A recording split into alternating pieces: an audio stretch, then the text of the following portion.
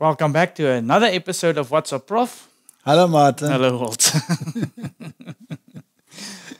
Are you well? Yes, We're Carrying on. yes. We have work to do. Let's jump right in.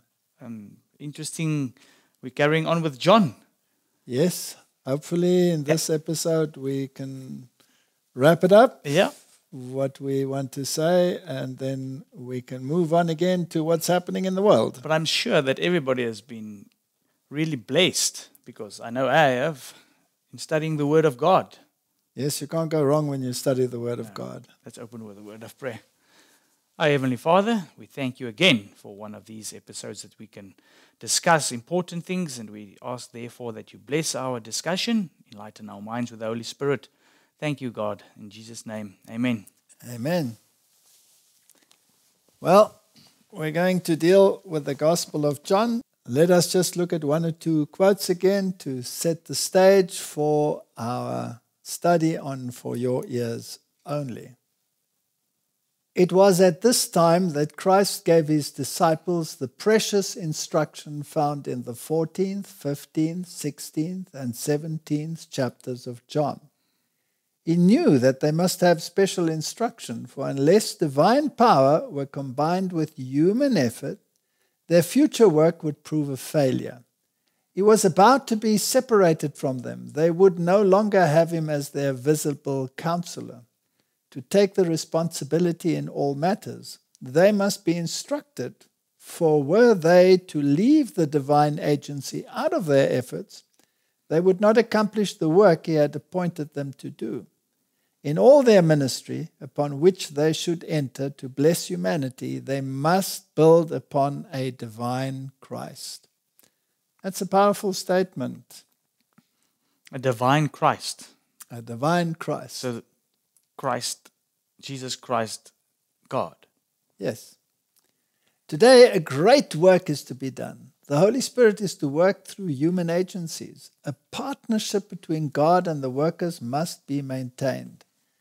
Man works because God works in him. All the efficiency and power is of God, yet God has so arranged that all the responsibility rests with the human instrument. These are the appointed conditions of partnership. Men are required to move amongst men doing a divine work. God designs that they shall have power from on high. But if they fail to seek for this power, if they neglect to improve the facilities which God has provided whereby they may reach the highest standard, they fail to uplift fallen humanity. So, Martin, this is a very important task that God has given man to do, to be a partaker in the proclamation of the gospel. Mm. But if you do it in your own strength, then you are in trouble. It's like when we studied the loaves and the fishes. Yes. Who did the multiplication? Christ did. It's like when you, sometime you mentioned that if the disciples had to do it, they would have divided the, bread. loaves and the fishes. But when Christ did it, he multiplied it. Yes, we work on the principle of addition, but Christ works on the principle of multiplication. So let us go to these chapters, Martin, because this is the crux of the matter. We're not going to go into a verse by verse detail. Chapter 13 deals with the Last Supper. And as we mentioned last time, when the disciples came to the Last Supper, they were still arguing as to who was the greatest. And Jesus gave them not only uh, an object lesson, but a great spiritual truth as well in the communion service that he initiated at this very important juncture. But we are dealing, especially here today, with what happened uh, to Judas and how the story unfolds. So the disciples had come together, and as we said, they were arguing about who was the greatest. And Jesus showed them that uh, they had to be servants one to another. But he also told them that one of them was going to be a betrayer. And he says in verse 21 of chapter 13 Verily, verily, I say unto you that one of you shall betray me. And so they looked at one another and they wanted to know who was it going to be. And then Jesus answered him and said, He it is to whom I shall give a sop when I have dipped it. Now, sop is a morsel, if you read in the margin. In this Middle Eastern set setting, it is customary to have dips and share and dip your bread in whatever there is, like hummus or any one of those things. And so this is what he was referring to. He it is to whom I shall give a sop when I have dipped it. And when he had dipped the sop, he gave it to Judas Iscariot, the son of Simon. I don't think anyone realized exactly what was going on because this was part of the, the way in which they ate, so nobody took particular notice. But then he said to him, and after the sop, Satan entered into him. Then said Jesus unto him, That thou doest, do quickly. Now, no man at the table knew for what intent he spake this unto him. But verse 30 in particular is very interesting to me. He then, having received the sop, went immediately out, and it was night. Mm. Martin, if you leave the presence of Christ, darkness. It's darkness, it's mm. night. So the children of light remained behind. And from verse 31, which by the way is a new paragraph, in my Bible again, this is bolded, the number 31. So this means in the original, this is a new paragraph. Now Judas had left. What you do, go and do it quickly. You're not going to change your mind. You have passed the point of your probation. Go. Mm. And it was night. And therefore, when he was gone out, Jesus said, Now is the Son of Man glorified, and God is glorified in him. Now came the time when he was dealing with the final issues, and he had his final group of loyal disciples around him. And then follow the most precious lessons that are very important to us. If God be glorified in him, God shall also glorify him in himself, and shall straightway glorify him. Little children, yet a little while I am with you. You shall seek me, and as I said unto the Jews, Whither I go, you cannot come. So now I say to you, A new commandment I give unto you, that you love one another as I have loved you, that you also love one another. By this shall all men know that you are my disciples, if you have love for one another. Martin, if we look at the Christian church today, and we look at the strife that reigns in many, many places, then people can honestly sometimes ask do they have love for one another? Now, this is after Judas had left. Mm-hmm. So, if we apply this to the time in which we are living, and we must have love for one another, then we must be one in mind. We must be one in thinking, one in attitude. Yes, and one in goal. And one in goal. And we must love one another. And then men shall know that we are his disciples. So, in particular, this love will be manifested even greater once the Judas principle has left the church. Yeah.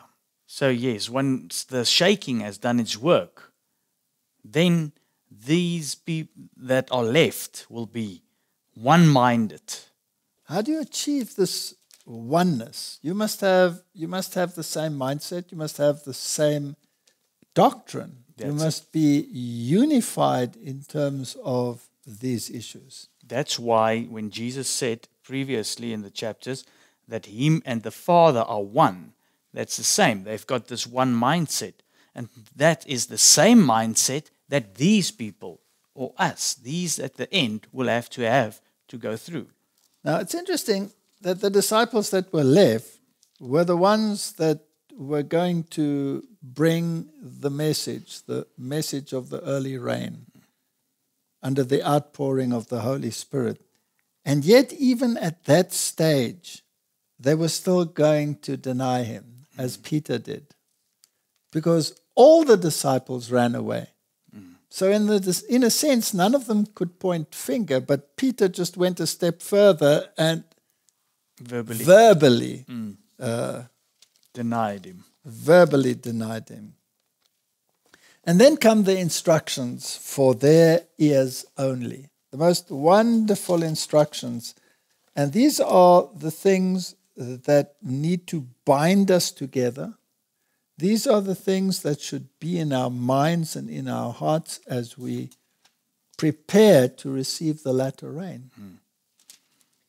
And of course, chapter 14 begins with that marvelous, marvelous introduction. And it basically is the gospel in essence. It's the whole Bible in just a few verses. Yeah. Let not your hearts be troubled. Ye believe in God, believe also in me. In my Father's house are many mansions. If it were not so, I would have told you. I go to prepare a place for you. And if I go and prepare a place for you, I will come again and receive you unto myself, that where I am, there ye may be also. And whither I go, ye know, and the way ye know. That is the entire plan of salvation in a nutshell. And if people were to study this, there would be far less confusion in the world. And it says quite clearly that he is going to go away, mm-hmm. that he is going to prepare a place, Yeah. and that once this has do- been done, he shall return to take his disciples so that they may be with him for all eternity. So, you know, false doctrines in terms of what happens in the afterlife would not exist if you believed in, in these statements. They're very plain. Exactly. You're not going to heaven anytime until Jesus comes to fetch us. Jesus will come to fetch it. And I go to prepare a place, and I will come again and receive you. So the receiving doesn't take place at death, it takes place when Jesus comes to resurrect the dead. And all the previous chapters that we discussed made this very clear. I am the resurrection and the life. Lazarus come forth was a demonstration of what will happen at the end of time. And this part where Jesus tells them, um, whether I go, you know, and the way you know. Yes, because he is the way, the truth, and the life. Yes. They know And him. If him. you know him, you know the way. It's interesting that at this stage, Thomas still inquires How do we know the way? And Jesus said to him then quite plainly, This is absolute straight talk. There's no parable, nothing here. Don't you understand? He says to him, I am the way, the truth, and the life. No man cometh unto the Father but by me. By this simple statement falls every false religion on the, in this world. Gone. Gone. You cannot go to heaven if you don't know the way. And if you want to understand God, you have to read verse 7. Yeah. If you had known me, you should have known my Father also, mm-hmm. and from henceforth ye know him and have seen him. In what sense have they seen him? In the character of Christ. Mm. Just as Christ is, so is the Father. So, this dichotomy that we have in the world and the Jesus seminar and all of these groupings that say we should love the Father, uh, we should love the Son and, and hate the Father. It's ridiculous once you read the Bible and you understand the mindset of the plan of salvation. It also comes back to the God of the Old Testament and the God of the New Testament. This- There's no such thing. No it's the thing. same It's exactly the same. And the fact that the judgments were shown in type doesn't negate the fact that there will be a judgment in antitype that will be exactly the same Exactly. as that in the Old Testament. And yet, Philip again says, Show us the Father, and it will suffice us. And Jesus said, Have I been so long with you, and yet hast thou not known me, Philip? He that has seen me has seen the Father, and how sayest thou then, Show us the Father? So, this dichotomy of thinking that we have in the world would disappear if people studied John chapter 14. Mm-hmm. And it is alive and well and living today in the world. Unbelievable. Catholicism goes even further and says nobody comes to the Father except by the Son, but nobody comes to the Son except by Mary. That's ridiculous. Where do you read that? Nowhere. Believest thou not that I am in the Father and the Father in me? The words that I speak unto you, I speak not of myself, but the Father that dwelleth in me, he doeth the works. Believe me that I am in the Father and the Father in me, or else believe me for the very work's sake. And then he has this amazing promise Verily, verily, I say unto you, he that believeth in me, the works that I do shall he do also, and greater works than these shall he do, because I go unto the Father. Now, Martin, nobody can do greater works than God. Nobody can do greater work than opening the eyes of someone that has been born blind. So, in what sense must we understand this verse? It will have a wider application. Correct. In extent, the work will be greater because Christ preached locally, but the disciples will preach universally. And uh, imagine the power that must attend the message. In that first century, after Christ, the whole world had been reached, Yes. even China. And you can go back into the history of China and you can read in the writing and the symbols that they used. The entire gospel is ensconced in those symbols. And then that was overturned again, and they returned to their old ways.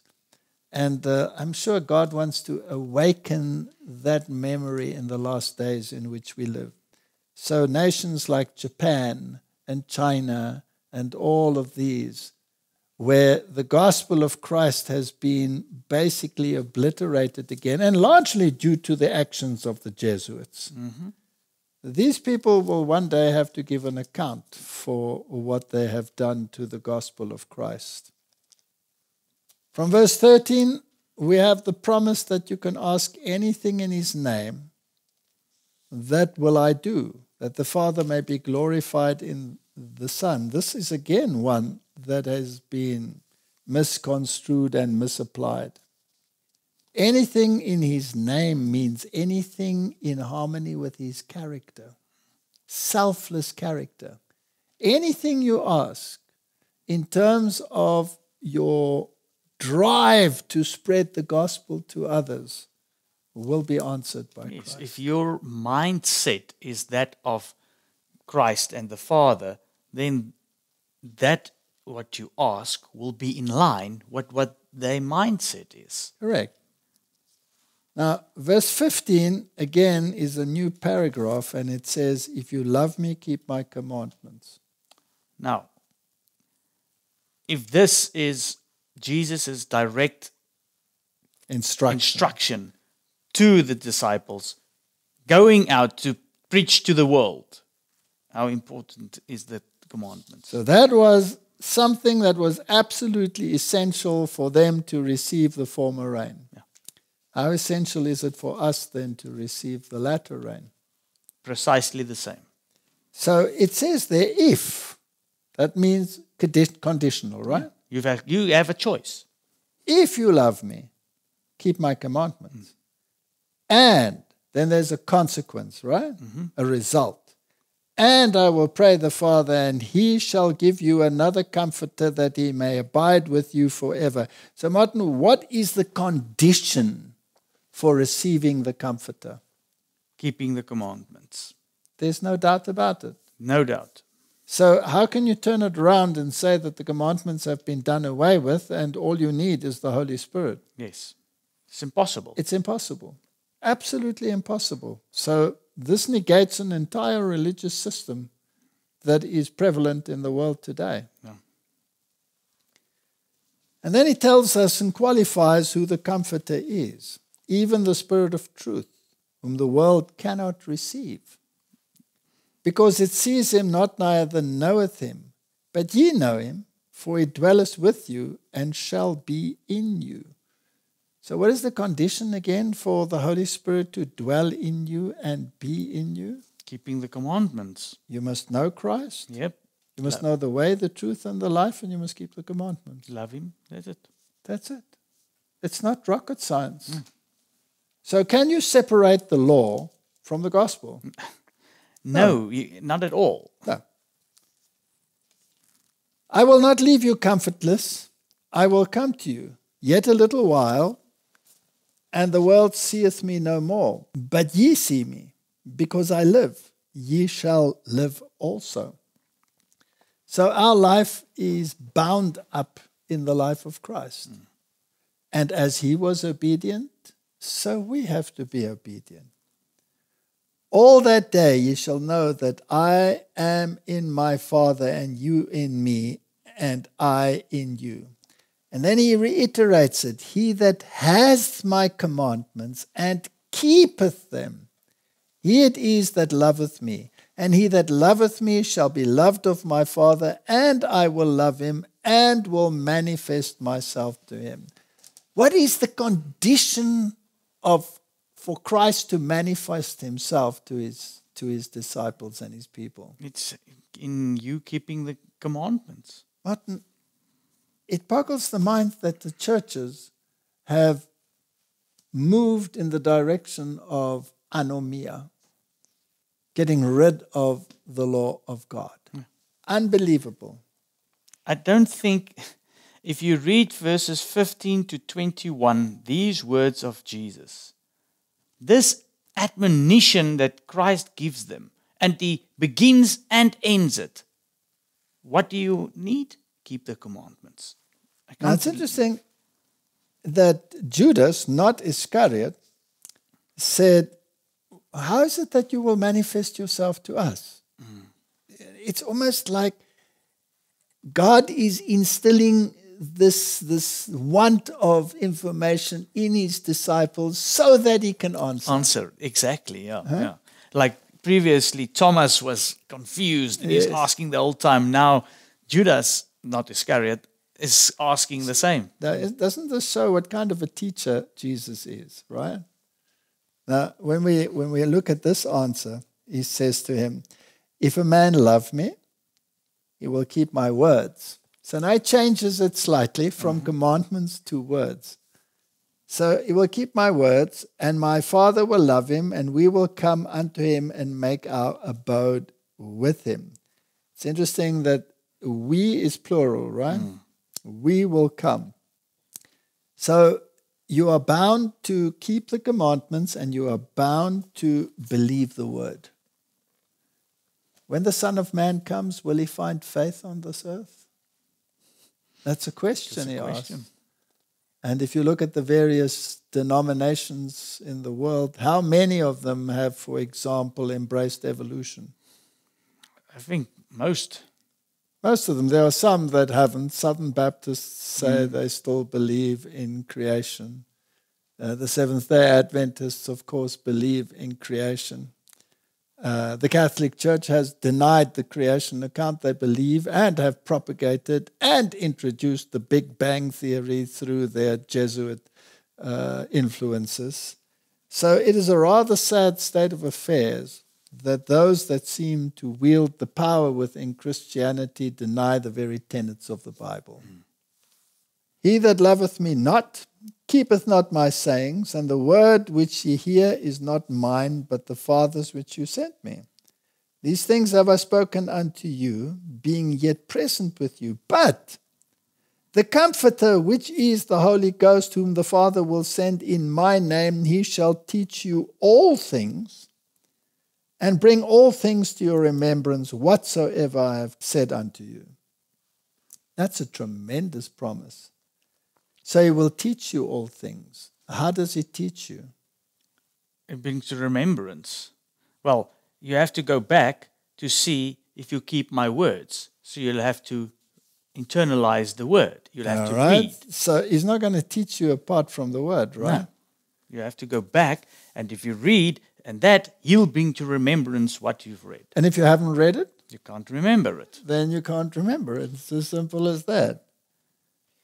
And then the rest of this chapter 14, he just reiterates that he has given them peace. So we can have peace in the midst of the storm. That's why it was necessary to browse through them so that you can see the emphasis and the necessity of. Yes. So will we face storms? He promised us we'll All right. face storms. And in the midst of the storm, can we have peace? Yes, because he has the voice to calm the storm. when you think about it, there was this terrific storm and Jesus fell asleep in the boat, right? And the disciples said, Master, do you not care that we are perishing? Don't you care? Mm. How can you sleep under these circumstances? Well, don't we feel the same when everything is going wrong and we've got all this uh, we are problems? we are very inclined to say, Do you not care? But uh, the fact that he is asleep in the boat should be enough, right? Exactly. So, Martin, now that we've spoken about the Holy Spirit, let's just read another statement here. This one is about the nature of the Holy Spirit, that is a mystery. Men cannot explain it because the Lord has not revealed it to them. You know, even to Nicodemus, it said, it's like the wind. It listeth here and there. You don't know where it comes to, from, you don't know where it's going to. Men having fanciful views may bring together passages of Scripture and put a human construction on them. But the acceptance of these views will not strengthen the church. Regarding such mysteries which are too deep for human understanding, silence is golden. So, while we are on the subject of the Holy Spirit, if we try to pin it down and define it exactly what the Holy Spirit is, we are dealing with a subject that has not been revealed to humanity. So silence is golden. Deal with the manifestations.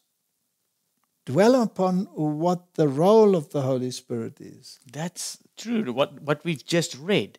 Read your Bible, study it, and the Holy Spirit will bring to remembrance that that you need to, to help others. Correct.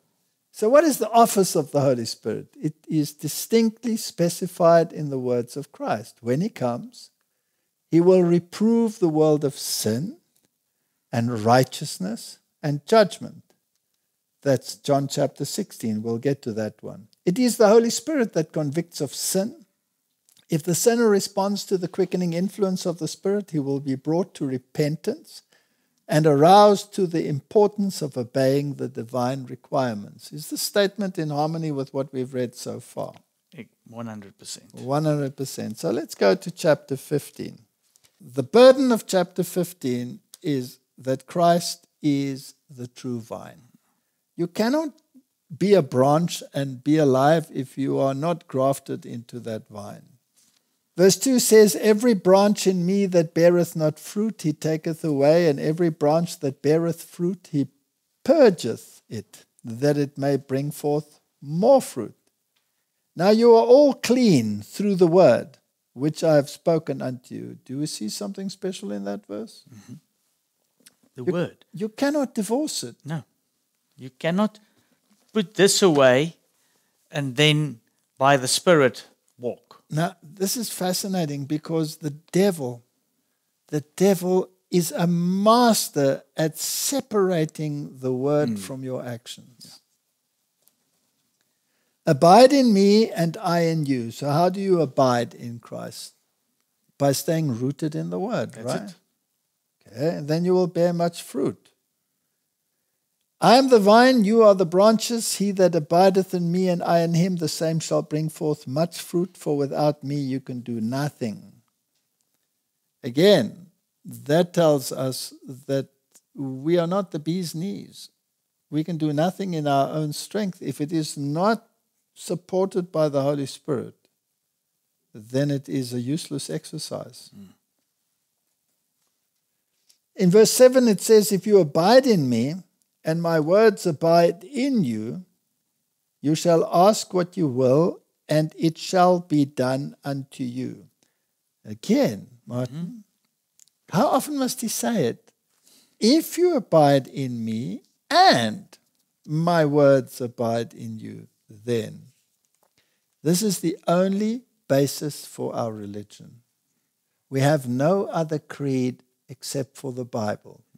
Mm. The spirit of prophecy is a lesser light that shows the greater light and brings to a fore the power of the message. That's it. And so it can never be in contrast to the Bible. And that's why, whenever you find conflicts between the spirit of prophecy and the Bible, make sure you got the right version of the Bible mm-hmm. because that can cause controversy. You're absolutely right. Now, again, if we continue here, it talks about the love which he has. As the Father has loved me, so have I loved you. Continue in my love. And then it gives again the condition if you keep my commandments, you shall abide in my love. Now, Martin, let me just get this straight. Did God love us while we were yet sinners? Yes. Yes, because while we were yet sinners, He died for us. So the issue of Him loving us is not conditional. No. But abiding in His love is conditional. In other words, when, when it came to Jerusalem, he said, Jerusalem, Jerusalem, how often I wanted to take you under my wing, but you would not. Now your house has been left for you, desolate. He said that with a tear in his eye, not because he wanted to reject them, but because they had rejected him mm-hmm. and he honored their decision. That's and that will be at the end exactly the same. Exactly the same. So he's got a condition. Yes, and then he says, These things have I spoken unto you that my joy might remain in you and that your joy might be full. But there's a condition to that. That's it. It comes again. Verse 13 says, Greater love has no man than this, that a man lay down his life for his friends. And ye are my friends, if you do what I command you. Martin, can it be plainer? Cannot. And How does Christianity get away with it? By denying the very basis of the centrality of the Gospel of John. And why did, like he says here, no greater love than this, that a man laid down his life for his friends? Did he lay his life down for them? Absolutely. And you know what he says? He says, I do not call you servants, but I call you friends. This is the amazing thing about the character of God that He didn't create you to be a slave, hmm. He created you to be a permanent friend and companion to Him. One in mind, one in purpose, one in attitude. As the Father and Jesus are one, so we have to be one, but we have to be one in Him too. Hmm. It, it is an amazing God that we are dealing with here that calls us friends. There's no other deity in this world that is like this deity. That's why this one is the only one that is worth worshipping. He makes it quite plain You have not chosen me, but I have chosen you and ordained you. In other words, the whole world is arrayed against God. But through this darkness, Christ reaches out and he says, If I be lifted up, I will draw all men to you. But if you are in Christ, if you are in Christ, verse 18 tells us that the world will hate you. Sad, eh? If the world hate you, you know that it hated me before it hated you. If you were of the world, the world would love his own, but because you are not of the world, but I have chosen you out of the world, Therefore, the world hates you. Now, can we just stop here? If we go back, here it's hate. What if the world hated me? But just before that, it says what you must do to love him. Yes. Keep the commandments. Yes. So if you go now to what do they do in hating him? They don't keep his commandments. Very good point. Yes, they don't keep his commandments. And if you do keep his commandments, the world will hate you too. If you keep the commandments, they will hate you. Remember the word that I said unto you the servant is not greater than his Lord. If they have persecuted me, they will also persecute you. If they have kept my sayings, they will keep yours also. His sayings are his word, Yeah. right? That's what they are. So if you keep the word of God, the world will hate you. If you keep the commandments, the world will hate you. The devil was wroth with the woman and went to make war with the remnant of her seed. They that keep the commandments and have the faith of Jesus. And that's in Revelation. That- that, that's in the book of Revelation. It's amazing. Uh, God shows us exactly what we need to be going through to the end, but He also says, look, you're going to have trouble. Now, I've heard so many times the opponents say, You people are all works orientated because it's just about the commandments, the commandments, the commandments. Well, Martin, how often have we read now about the commandments? The- the Wouldn't they, time. say, wouldn't they say exactly the same to Jesus today? Exactly. They would. They, they can't be any different because the world hated him then because of it. They crucified him. Now they, And they said, We have no king but Caesar. And again, they will say, Give us Caesar. Mm. In fact, they're clamoring for Caesar right now. Mm-hmm. Please come and mediate between Ukraine and Russia because God is not going to help us. They said that plainly. The Orthodox prelate said, Prayer will not help. Please, Pope, come and help us. Unbelievable. And the worst of it is that 21 tells hmm. us, But all these things will they do unto you for my name's sake, because they know not him that sent me. They will think that they're doing God's service in the name of Jesus Christ if they persecute those that keep his commandments. and why? Because they think they know me. And how did he say you, know, you can know him? If you keep his commandments, commandments. And, if you read the word. if you understand the word and internalize it, you have to eat it on a daily basis. Oh, but it's a it's such a powerful statement that he says they will think that they do it for his name's sake. It shows you how deceived you can be. That you can do something that you think you're doing for Christ, but because you've got a lack of reading the word and wanting to do what God requires from you, it's out of your mind. You think you're doing God a service. So, if you take children at school, why do they conform with the activities of all the others? We call that peer pressure, right? Mm. Now, are adults immune from peer pressure? No, No. not at all. Do the churches exert peer pressure?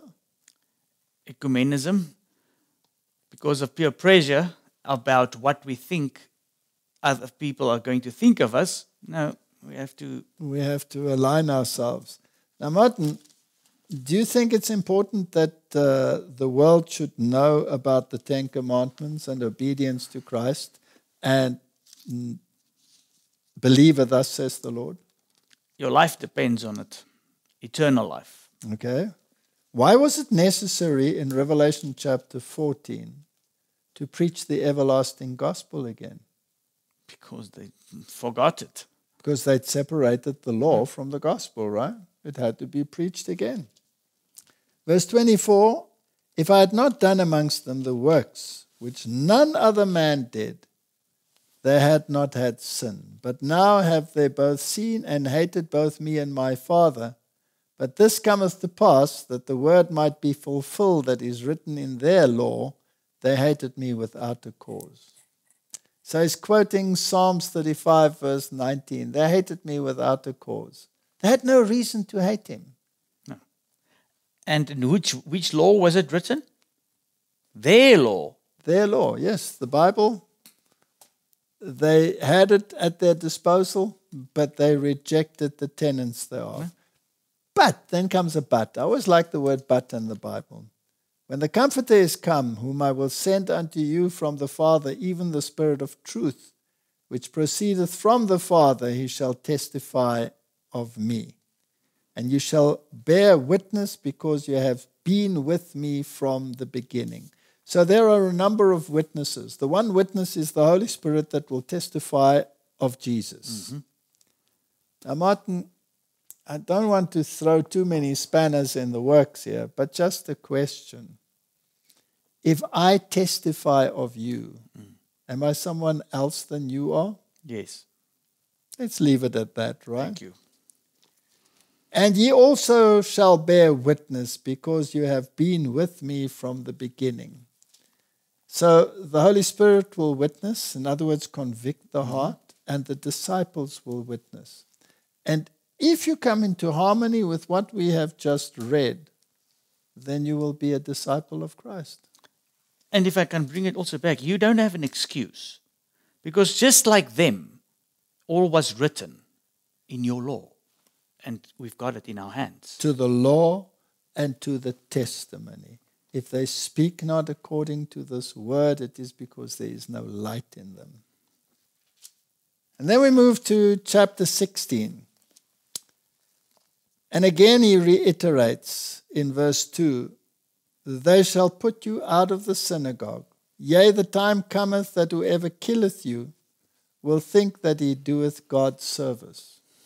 Martin, do you think that's important that we should understand this for the time that we are living in? Yes, because we're heading for this at a very quick pace. Are we, are we repeating this history? Mm-hmm.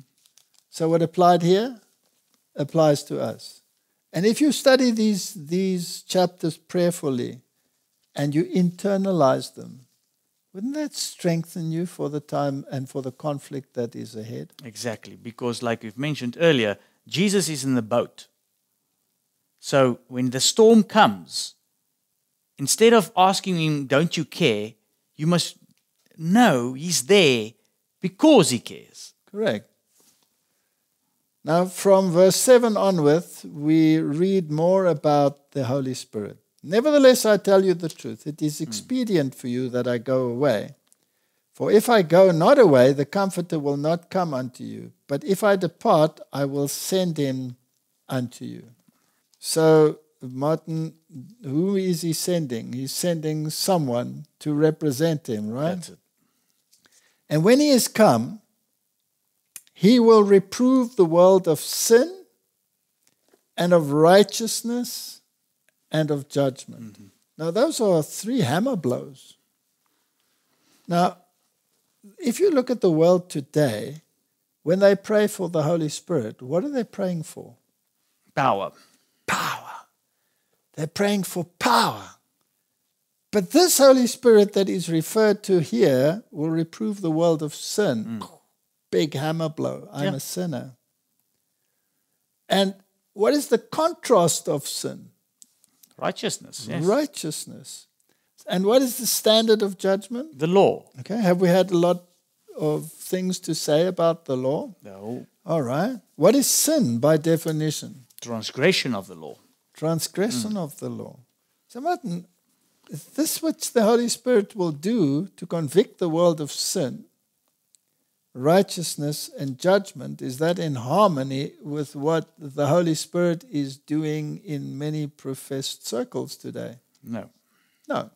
It's giving you power, and uh, it's a power religion. It's like a drug. Yeah. And it also is many times linked to pro- prosperity. All right. Now, Martin, you come out of that, out of those circles, right? It's not so long ago that you you were enjoying that environment. Was it very pleasant for you to find out that the true function of the Holy Spirit was to convict you of sin and righteousness and judgment? In the beginning, it's not, not at all. But as you grow, you're very appreciative that this is the way God helps you. If it wasn't for the Holy Spirit convicting you of sin, you'll just carry on. You'll just carry on and you wouldn't even be aware of it.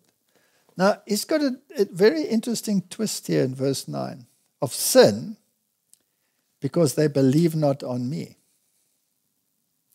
So here's another definition of sin. The sin is not believing in Jesus Christ. It's That's interesting, right? Mm-hmm. But of course, you can only be guilty of this sin as he qualified before. He said, if it weren't for my works, they would be without sin, right? Mm-hmm. But now that they have seen it and they reject it, therefore their sin remains. So if you if you are convicted by the Holy Spirit and you reject it, hmm. then it becomes for you sin. yeah. And it also means that you did not believe Christ. Of righteousness, because I go to my Father and you see me no more. So he goes to his Father. So now you have to accept righteousness by faith. Faith. That's it. This is what, what verse 10 is. Yeah. Verse 10 is righteousness by faith. That is the third angel's message in verity. And the third angel's message is linked to the commandments, in particular the Sabbath commandment. Exactly. The fourth one. Now, have we seen that throughout this issue? When we read Isaiah chapter 58, wasn't that the issue that had to be restored? Exactly. So, how much depth is there in these, these chapters of judgment? Because the prince of this world is judged. Satan. In other words, whatever the theology of Satan is, is judged by what we have read here, which is the opposite. That's it. Satan's philosophy is plainly stated do what thou wilt is the whole of the law. That's it. And those two concepts are in conflict mm-hmm. salvation by works, salvation by faith. So in these verses, we have righteousness by faith, we have the judgment, we have all of these things. Now, I'm sure that Jesus would have liked to explain it in some more depth because he says, I have yet many things to say unto you, but ye cannot bear them now. Because they weren't ready to receive it. Their mind was still waiting for this Messiah that would release them from the Roman bondage. Verse 13 Howbeit, when he, the Spirit of truth, is come, he will guide you into all truth. So, you know, just make a list, a mental list of what he does. He will convict you of sin. Mm-hmm. He will show you what the opposite of sin is, which is righteousness, which means you must move from sin to righteousness. Once you have moved from sin to righteousness, then you do not come into the judgment. Hmm. Then you are saved by grace through faith. That's it. Hmm? But then he has another couple of other functions. He will lead you into the truth because he's called the Spirit of truth and he will guide you into all truth. Now, didn't he say, My word is truth? Yes. All right. So, in other words, you cannot study the Bible without the Holy Spirit. Nope. When I was an atheist, I read the Bible.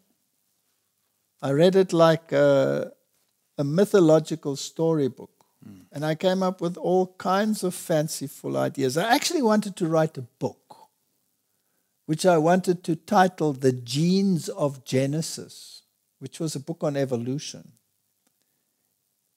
And I'm so glad I never wrote it because it would have been the most foolish thing that you could ever imagine because the fool says in his heart there is no God, mm-hmm. right? So he will guide you into all truth. I'm so glad that the Holy Spirit got hold of me before I wrote this rubbish and then read Genesis as it stands. And it also brings to mind how important it is that you believe every word, because every word is truth. Yes, and how many can you leave out then? Nothing. So when you read this and you read it as it stands, believe it because it's truth. And how many people m- bring out all sorts of their own concoctions all the this? time. So he will guide you into all truth. He will not speak of himself, but whatever you shall hear, that he shall speak, and he will show you things to come. So there will be prophecy. So is Jesus here predicting that the Holy Spirit will raise up prophets for the church? Definitely, yes. Does he predict the same in Revelation? Yes. So the gift of prophecy will be retained until when, Martin? Till the end. Till the end. And he shall glorify me, for he shall receive of mine and shall show it unto you. Now, any religion that glorifies the Holy Spirit apart from Christ is not fulfilling verse 14. No. Because the Holy Spirit has the function of glorifying Christ. Mm. So when Pope John Paul II said, Come, Holy Spirit, you are the one that we want to glorify publicly, is that fulfilling the commission that we read about here now? No. No, this is a, this is a very serious issue. So, how important is it that we study these things? This is eternal life studying. And it's absolutely essential because every deception that is in the world mm. today is being addressed in these chapters. Every That's deception. It. All things that the Father has are mine, therefore said I that he shall take of mine and shall show it unto you.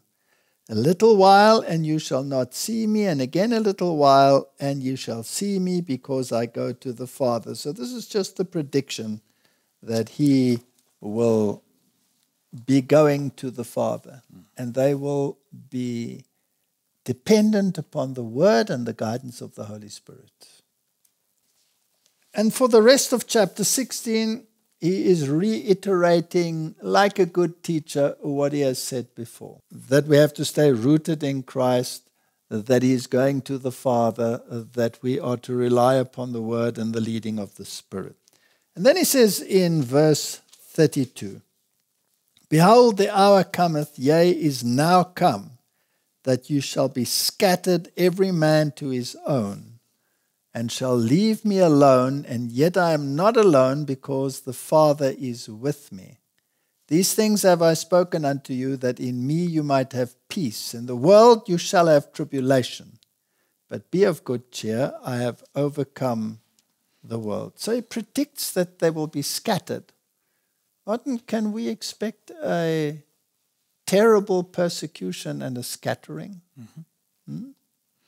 But be of good cheer. Mm. He has overcome the world. So these are things that we can expect. That brings us to the final chapter before the crucifixion of Christ, and that is chapter 17. So, Martin, chapter 17 is basically a prayer. Jesus is praying that that which he has explained to them in chapters 14, 15, and 16 will be rooted in their minds and in their hearts, right? Mm. So it, it, is, it is a glorious prayer of dedication. So when we think of the times we are living in, do you think the time has come where Christ is giving a glorious prayer of dedication for those that have a message to present to the world? Well, he is our intercessor, isn't he? Yes. And soon probation will close. And he says here in verse 2 As thou hast given him power over all flesh, that he should give eternal life to as many as thou hast given him. And this is life eternal, that they might, might know thee, the only true God, and Jesus Christ, whom thou hast sent. And then he, he talks about how he has glorified God on earth through his perfect life, his perfect obedience, his perfect humility. And now, O Father, glorify me with thine own self, with the glory which I had with thee before the world was. So that shows again the eternity of mm. Christ. In verse 9, he says, I pray for them. I pray not for the world, but for them which thou hast given me, for they are thine. This world, Martin, is coming to an end. Mm-hmm. We can pray for the world. We can pray for the conversion of the world. But this world is coming to an end. There is no solution for this world. Just like the Jews rejected Christ, so the world is going to reject Christ. So we can only pray that people will come out of the world. Now, Jesus says in verse 11, And now I am no more in the world, but these are in the world. And I come to thee, Holy Father. Keep through thine own name those whom thou hast given me, that they may be one as we are. This is such a powerful prayer. This unity, in the context of the chapters that we are reading, occurred after the Judas principle had left. Yeah. And we must expect this prayer to be of special significance for the times when the latter rain will be poured out. Because he says quite plainly, While I was with them in the world, I kept them in thy name. Those that thou gavest me I have kept, and none of them is lost, but the son of perdition, that the scripture might be fulfilled. So, if we abide in Christ, if we are rooted in his word, if we keep his commandments, none of us will be lost. If we appropriate righteousness by faith, through faith, then none will be lost but the son of perdition. The Judas principle will have to leave.